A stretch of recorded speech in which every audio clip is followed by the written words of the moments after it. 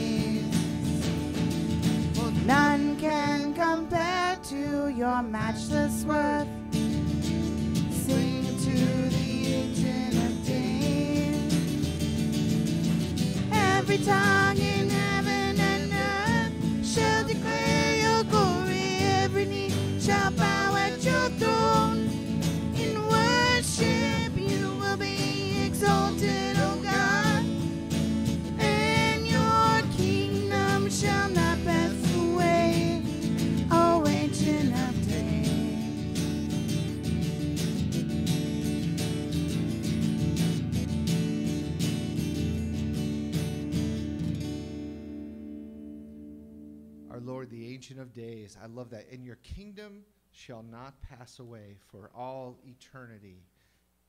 The Ancient of Days, our Lord and Savior, Jesus Christ, the hope of nations, and our future, our peace, our joy.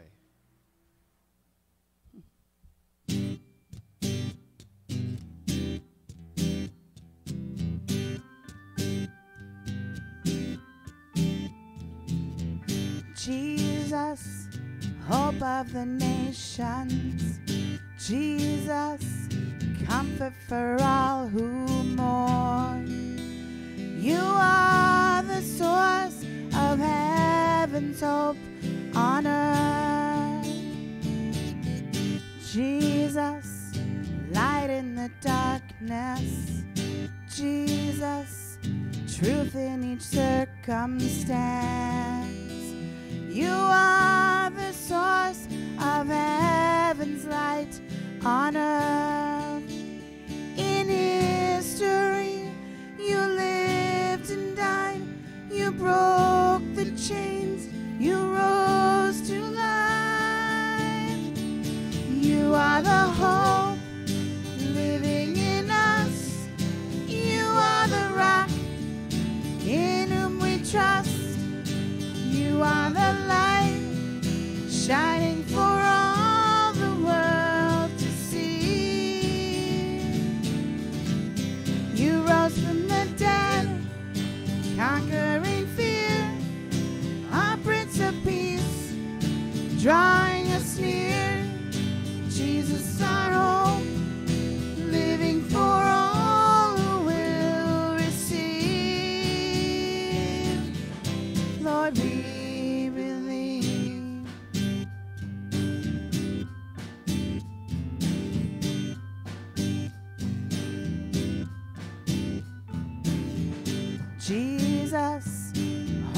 of the nations. Jesus, comfort for all who mourn. You are the source of heaven's hope on earth.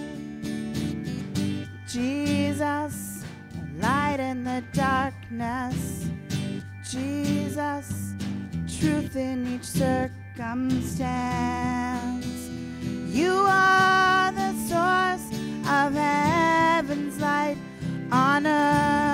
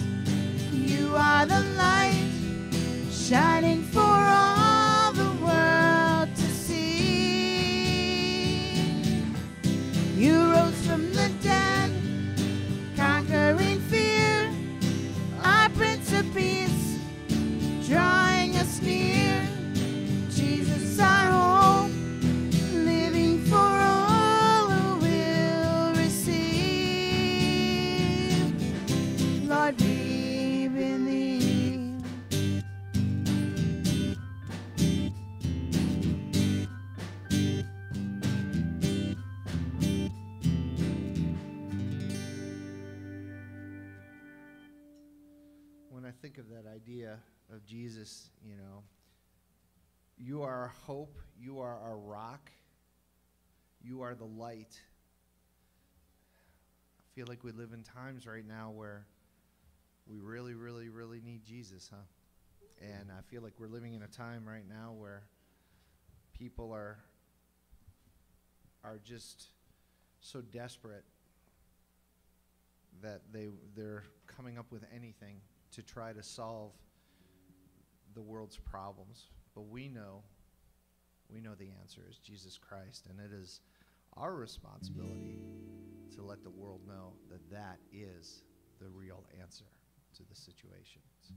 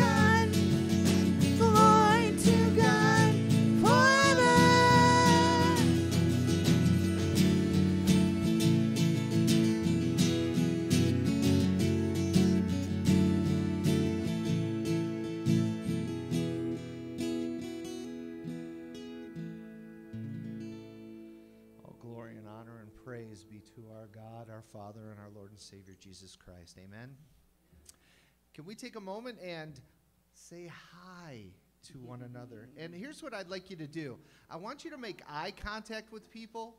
Pull your mask down so they can see your face and see your smile, and then you can put your mask back up again. So take a moment, make eye contact.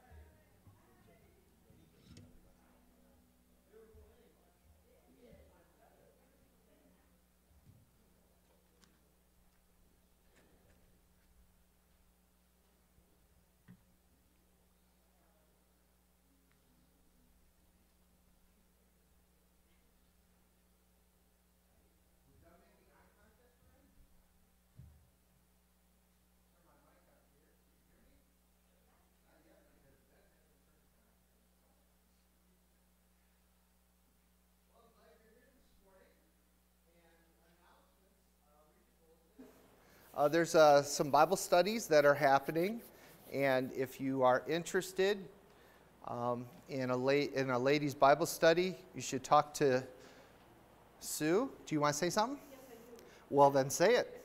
I just want to say, um, we started, the group of ladies, we have a small group of ladies meeting for Bible study. We're not doing it for the summer, but we're doing it third time at three P M on Friday.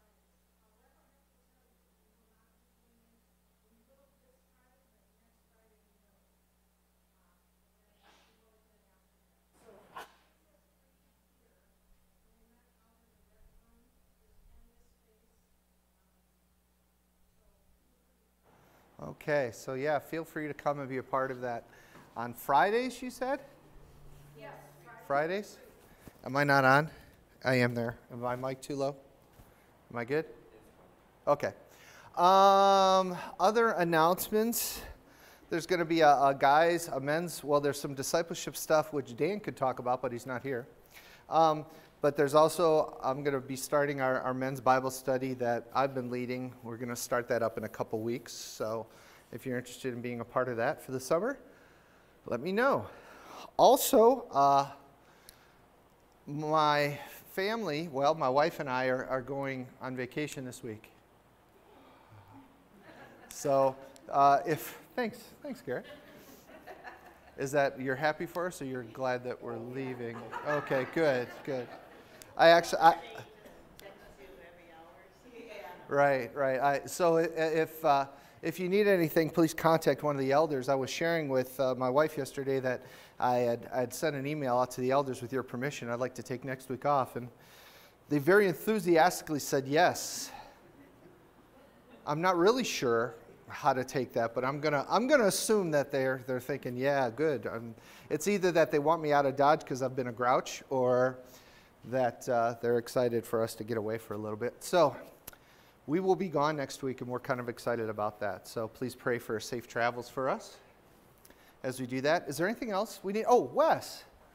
Um, Wes, who's been doing an awesome job with all our video stuff, is not going to be here next Sunday. So he needs someone to run the video stuff for next week. Now, don't be intimidated by all that technology back there, okay? Wes is so smart that he makes it really simple for you. So if somebody is interested in running video next week, please see Wes after service. And we really do need somebody to do that for next Sunday so that the rest of our church family who's not here, who's watching services at home, will still be able to see our service next week. So please talk to Wes afterwards. Um, it's really, is, is it really hard to do, Wes? Five buttons. Five buttons.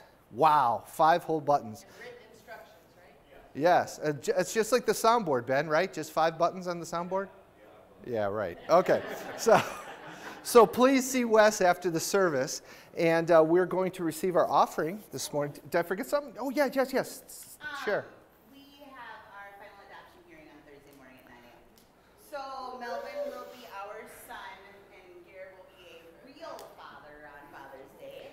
Um, so he's pretty excited about that, but it still doesn't mean that he will be safe from, um, immigration. So we're still working will be our son on Thursday. Awesome. So please be. So please be praying for the Leslies and for, for Melvin. Is he going to change his name to Melvin Leslie? It's going to be Melvin Pasquez.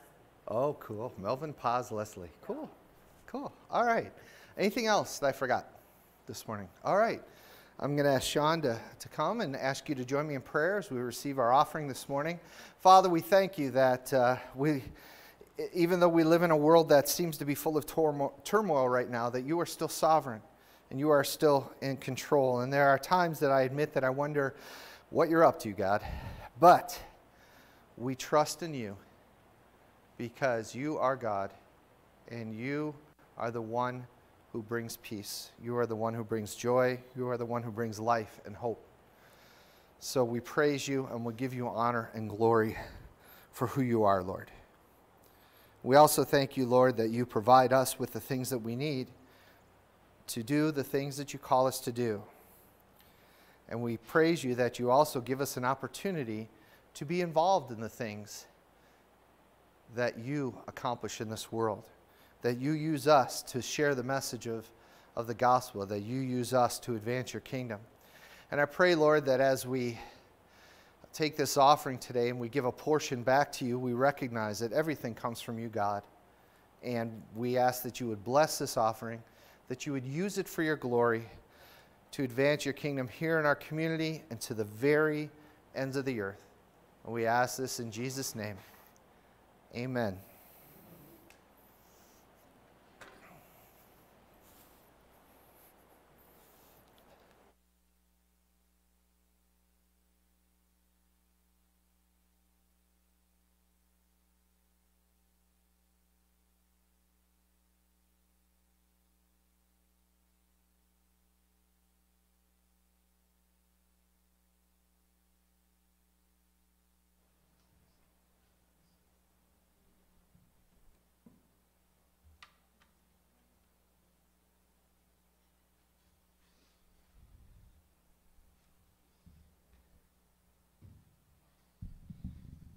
I'm going to ask you to stand with us, if you will, as we continue to worship this morning. And I have to share with you, I'm really excited to share the message that I'm going to be sharing with you today. And I just pray that as we as we sing these next couple songs that you would take time to focus your hearts and just prepare your heart for what God has uh, to say to us this morning.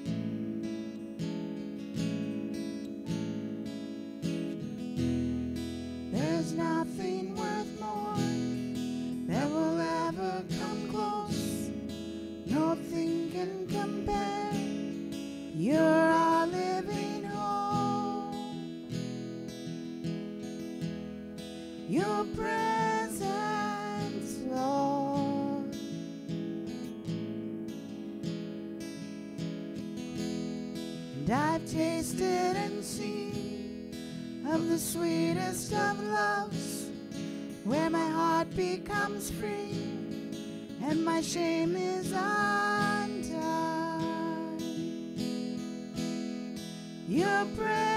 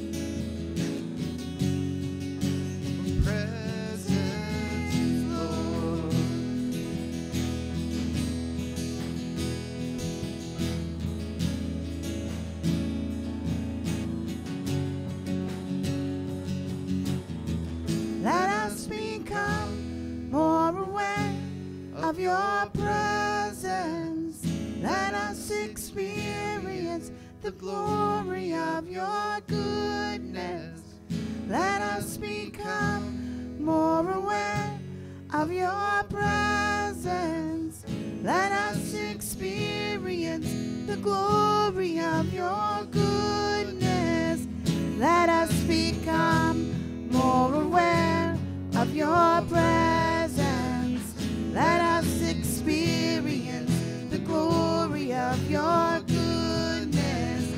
Let us become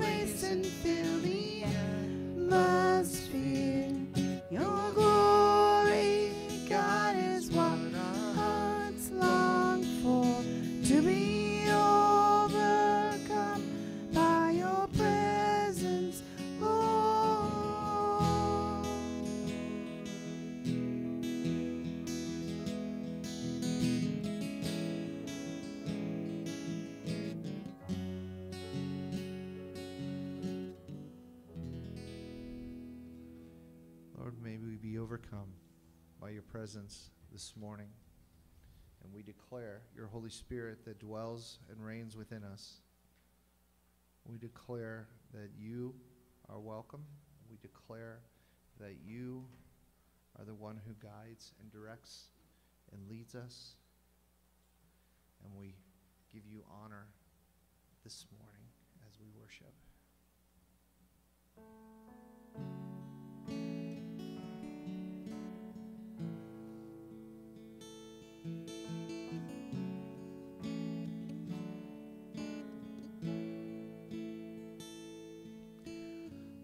the poor and powerless, and all the lost and lonely, and all the thieves will come confess. And know that you are holy.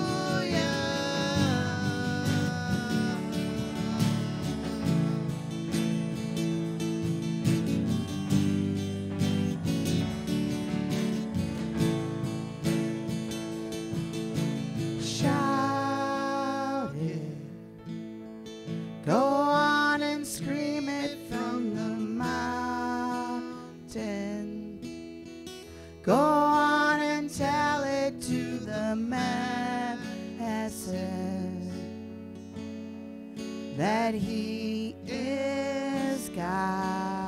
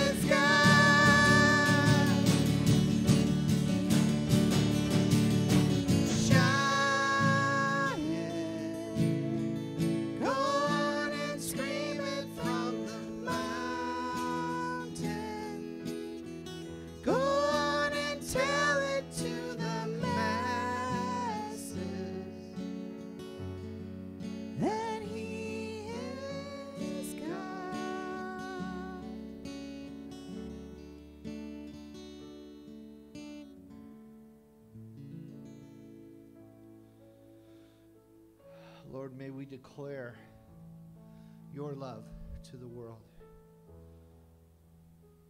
May we proclaim your awesomeness, your mightiness. And may we say without reservation, without fear, without shame, that Jesus, you are Lord. You are the King of Kings. You are the Lord of Lords. Our salvation, our Redeemer, our anchor, our cornerstone, our rock, our future,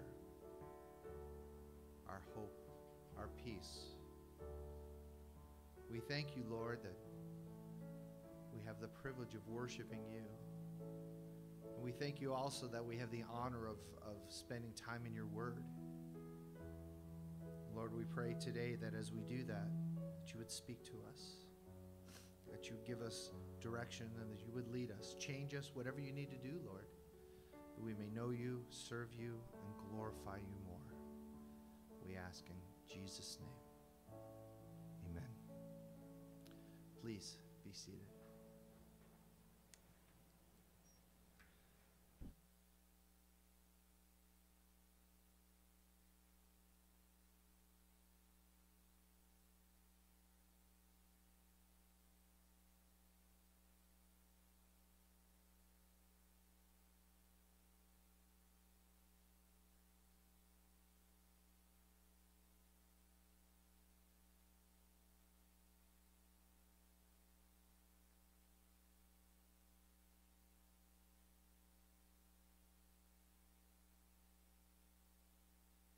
Well, as I, I shared with you this morning already, I'm very excited to bring this message to you today. And it's, uh, it's titled Be Light. And we are in Ephesians chapter 5. We're continuing our series on Paul's letter to the church in Ephesus. And we're going to be looking at verses 6 through 14 this morning. Now, remember where we were, were a couple weeks ago in Ephesians. Paul calls us to follow God's example and follow God's example in love and to love others like Christ. Paul went on to say that there are certain things that have no place in the body of Christ, certain behaviors. And we talked about how looking at life through the lens of Christ makes all the difference. So now we're going to continue this morning. There's an outline in your bulletin uh, to follow along. And the first uh, idea this morning is this idea, is this idea of do not be fooled. How many people like to be fooled? I think it was Mark Twain who said, it's easier to fool someone than it is to convince them that they were fooled. Chew on that for a moment. Okay, don't be fooled. Look at verses uh, 6 and 7, if you will, please. Uh, and I have to pause for a moment. Do we have the bulletins? Does anybody? Well, we have the wrong bulletins out. They're in the office. Well, it's not June 7th. Okay. Um, so, I'll speak real slow until the outlines get here.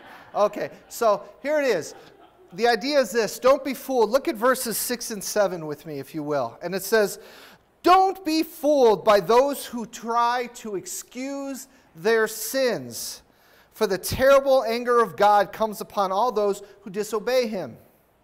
Don't participate in the things these people do. Now, Paul says that we should not be deceived.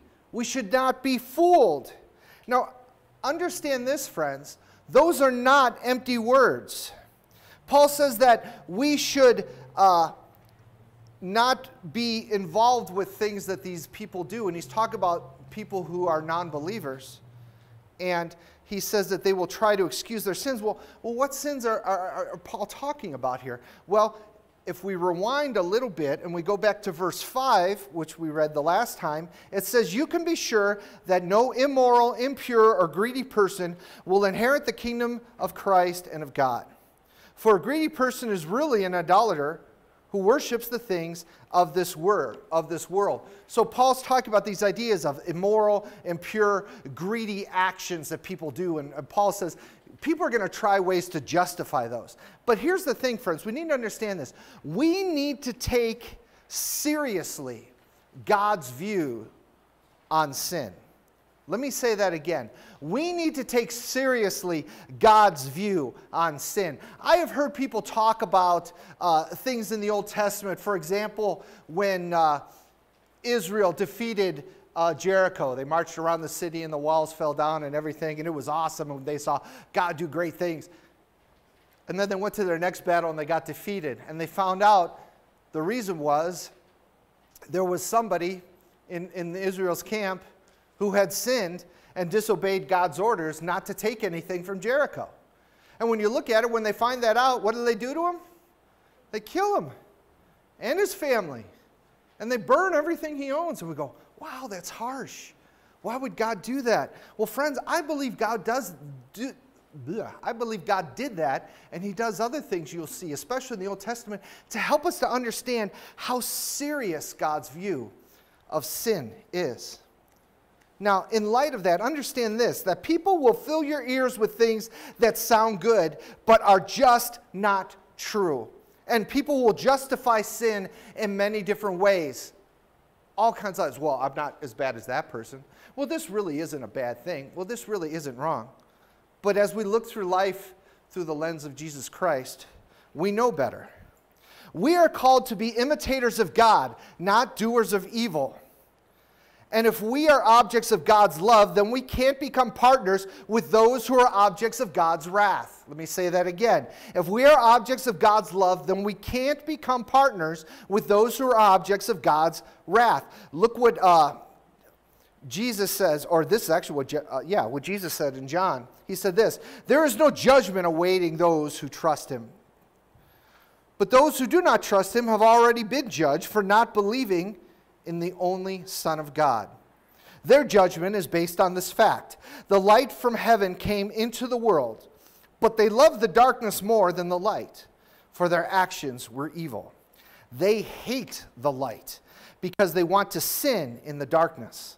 They stay away from the light for fear that their sins will be exposed and they will be punished. But those who do what is right come to the light gladly, so everyone can see that they are doing what God wants. So, we read that. What should we do? I'm so glad you asked. We should embrace the light. Look what it says in the next verse in Ephesians. It says, For though your hearts were once full of darkness, now you are full of light from the Lord, and your behavior should show it. Paul tells the church in Ephesus, and this is true for us as well. We are no longer part of the darkness, friends. Paul says we are full of light. And friends, light represents truth, dark represents absence of truth. And those who live in darkness do not have the truth. We have been rescued from the darkness through Jesus Christ in John chapter 8, Jesus said this He said, I am the light of the world. If you follow me, you won't be stumbling through the darkness because you will have the light that leads to life. The way we live should reflect that light. Remember what Jesus also said. He said this You are the light of the world, like a city on a mountain glowing in the night for all to see. Don't hide. Don't hide your light under a basket. Instead, put it on a stand and let it shine for all. In the same way, let your good deeds shine out for all to see, so that everyone will praise your heavenly Father. We are that light, friends. We are that light that shines in the darkness. So let's talk about shining the light, shall we? Can we talk about that? Whoops. I missed where I'm at. Hmm, okay.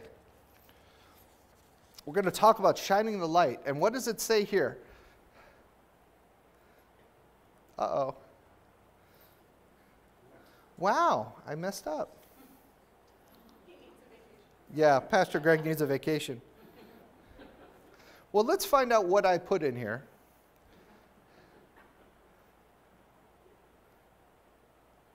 Oh, okay, very good. Yes, you're seeing Pastor Greg in a terrible moment. Okay, shining the light.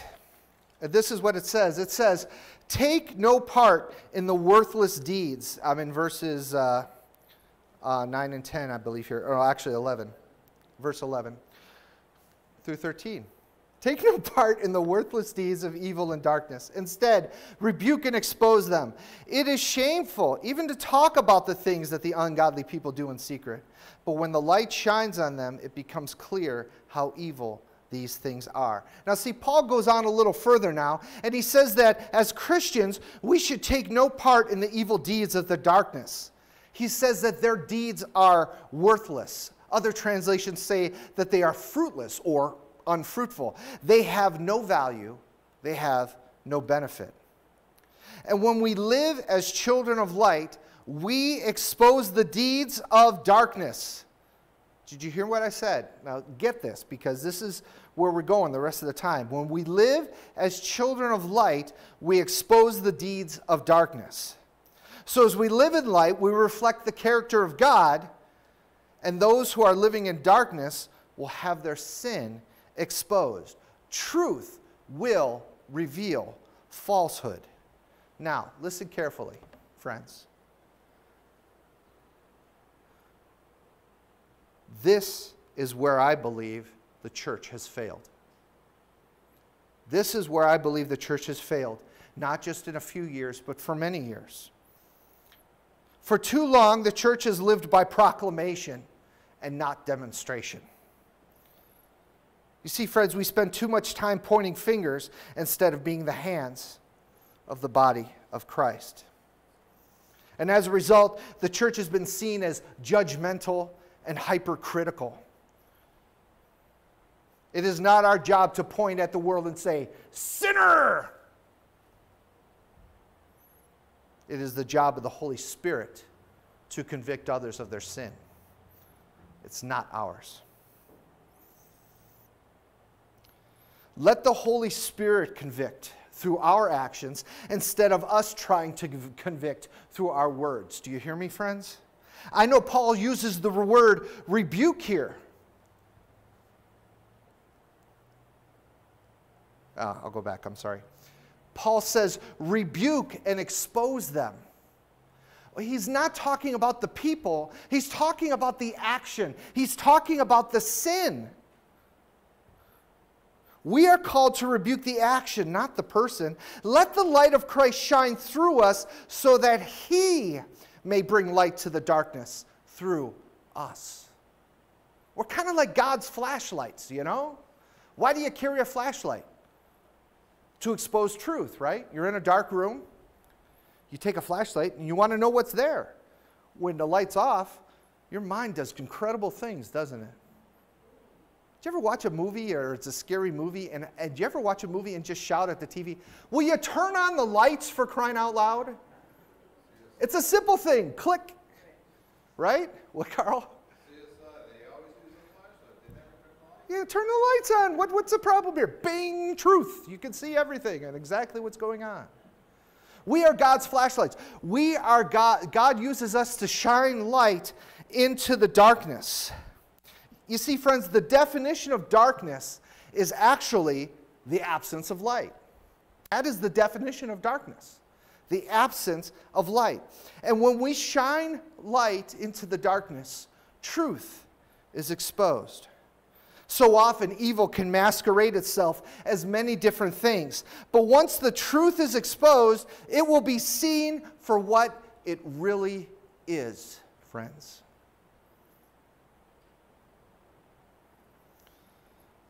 We as the church have to do a much better job of demonstrating as opposed to proclamating.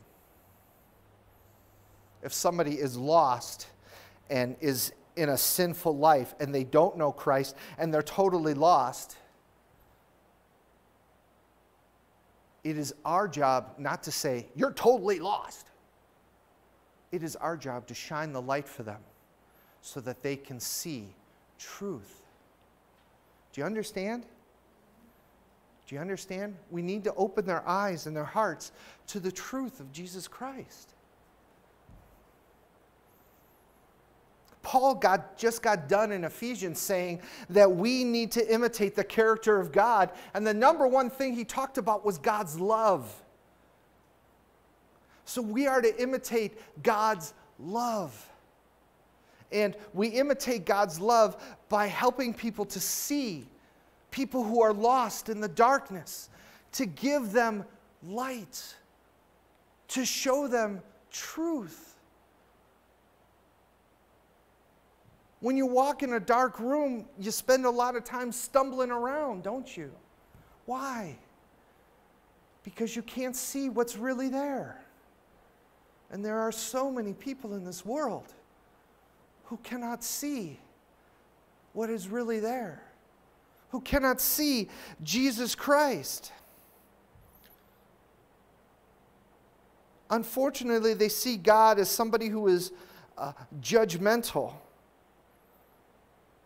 instead of someone, and someone who is critical instead of someone who loves them. When we shine the light of Christ, we are sharing the love of Christ. Why is this so important, friends? Look at verse 14. Look what Paul says, says here. He says, And where your light shines, it will expose their evil deeds. And this is why it says, What? Awake, O sleeper, rise up from the dead, and Christ will give you light. Friends, we are to shine the light of Christ so that those who don't know Jesus can be saved.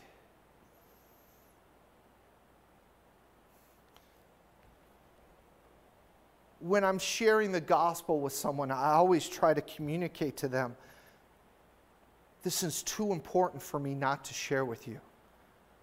I want you to know the truth. I want you to know that you have a Savior who loves you in a way that you can't even begin to comprehend right now. I want you to step out of the darkness and step into the light.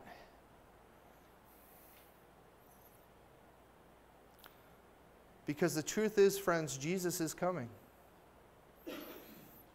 We know that his return is imminent. What does that mean? Could be any time. Could be any time. Let me leave you with Paul's words to the Romans. Look what Paul says. He says this Night is almost gone.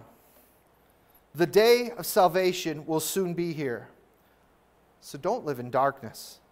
Get rid of your evil deeds, shed them like dirty clothes, and clothe yourselves with the armor of right living as those who live in the light. Paul is saying, look what he says clothe yourselves with armor of right living as those who do live in the light. The Lord is trying to communicate his truth through us. I, I still can't figure that out sometimes because we don't seem like very good vessels for the message, do we? But the truth is, our own brokenness makes us perfect vessels. Because if God can love me, he can love anyone. So, friends, we need to be light. Light that shines in the darkness. And, friends, our world is full of darkness. Full of darkness. And we need to be the light and the love of Jesus Christ. And shine that light so that others may see, know, learn, and embrace the truth. Amen. Would you pray with me? Heavenly Father, we thank you that you allow us to play a part in your mission and ministry, that we get to be a part of advancing your kingdom. Lord, it's still hard for me to get my head around that. But we see this constantly in your word. We see it in uh, Paul's letters, and we see this exhortation for us to be light.